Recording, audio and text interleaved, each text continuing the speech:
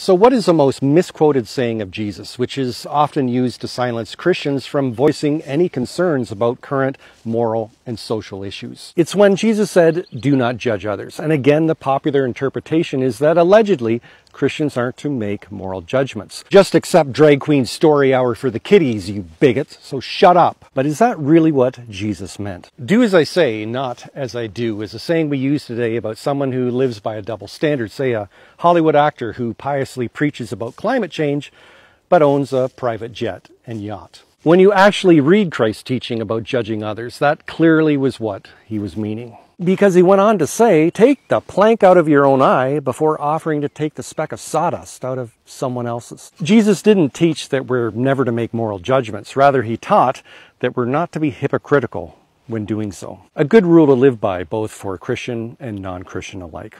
Please click follow and share this video like crazy.